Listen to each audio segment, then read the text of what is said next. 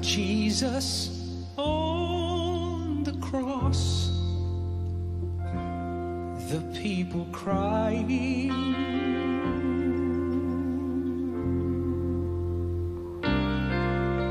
Looking on, a man would think that's such a tragedy.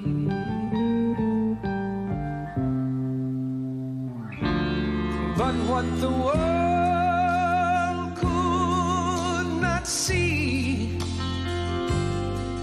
was when they nailed him to that tree. It broke the chains of sin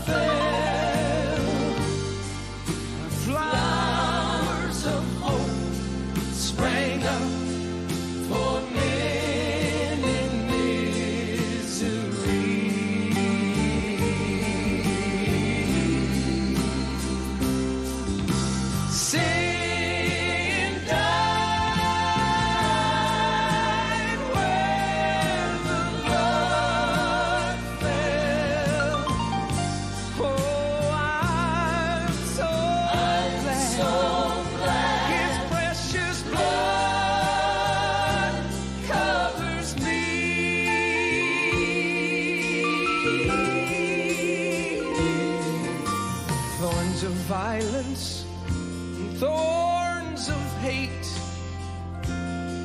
they were growing wildly.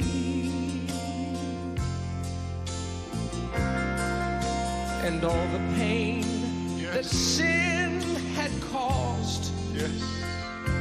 you know, it was so very plain to see.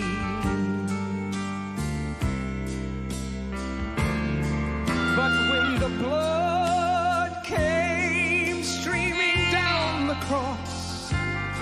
where my Savior bled and died, it broke the chains of sin.